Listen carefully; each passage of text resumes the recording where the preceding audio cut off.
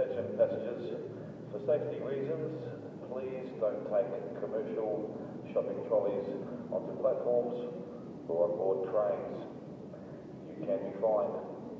Thank you.